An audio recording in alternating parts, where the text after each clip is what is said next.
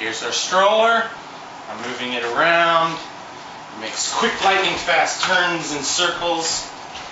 And it very easily converts.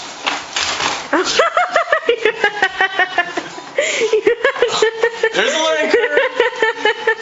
the, you have to use the red thing and there's the release button.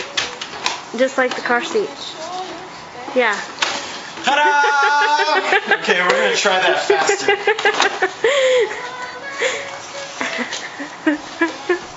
Just going along. Do lightning fast 360s. Turn it on. It's raining really hard, so we have to get in the car really fast. We go zoom, zoom. We have to get into the stroller and run out of the Oh, oh, lock it.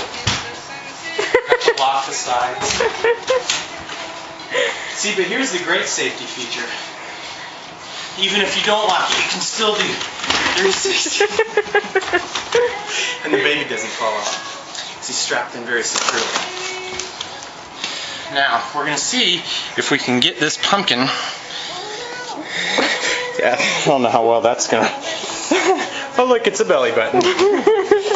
Okay, the baby is almost into the stroller. Okay, so.